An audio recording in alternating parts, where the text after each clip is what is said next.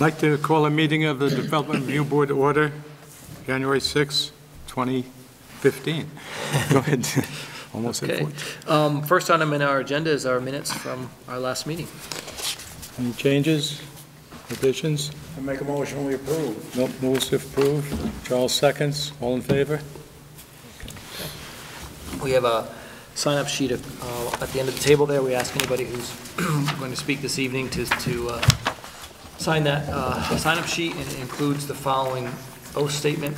I solemnly swear or affirm, under the pains and penalty of perjury, that the statements I make, testimony I give, and other evidence I submit to the board at the board's public hearing held on this date shall be true and correct to the best of my knowledge and belief. And again, that sign-up sheet is just right at the end of the table there.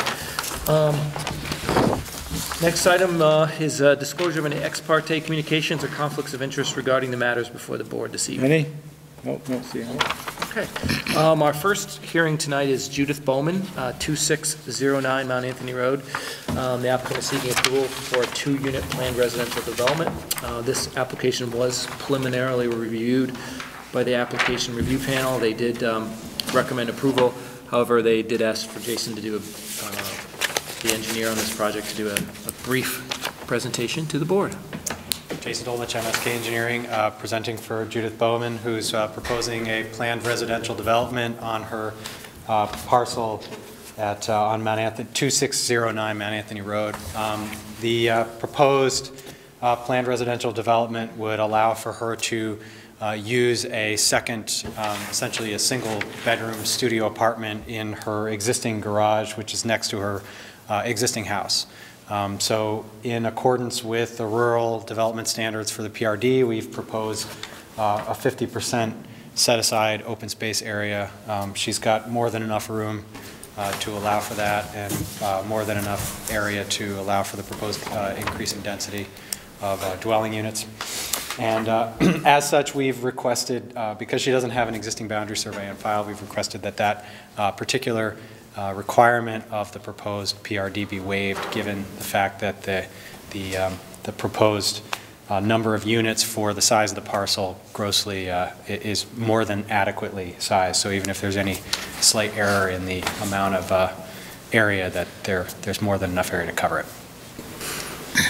Um, We have um, applied for a uh, wastewater and potable water supply permit to allow for the additional residents as well. Any questions from the board? From the audience?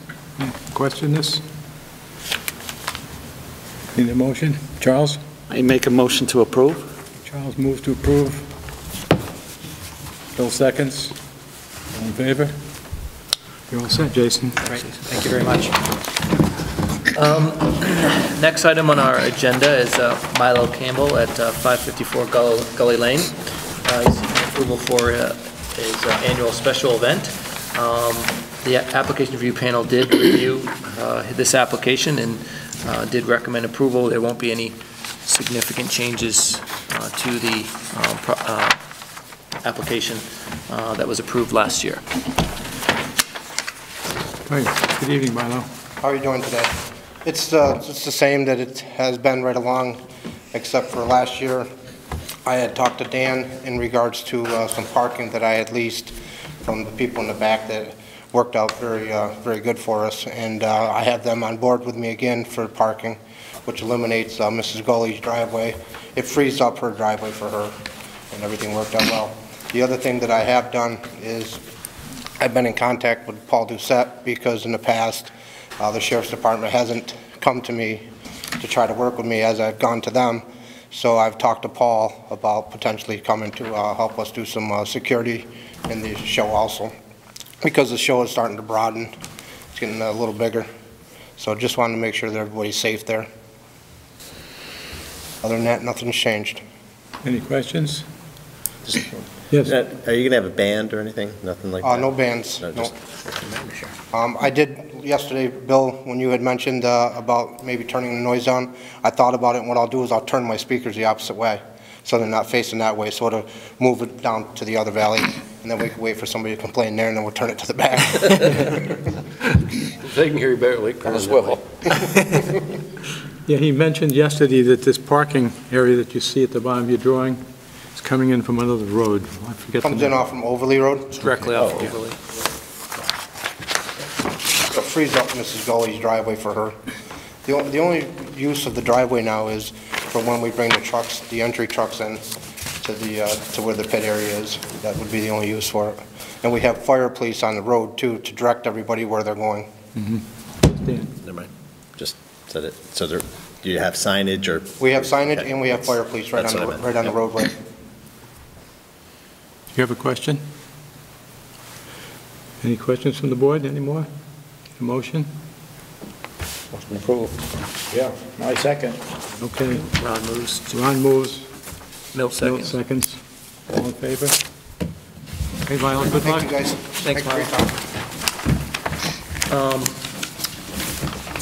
I don't see Mr. Cobelia, which uh, is our third um, application this evening, so um, certainly would be appropriate, I think, if the board is amenable to continue this to the next meeting. Yeah.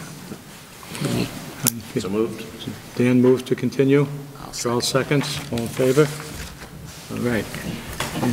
Uh, Unless there's any other Any business? business, we can adjourn. Need a motion to adjourn?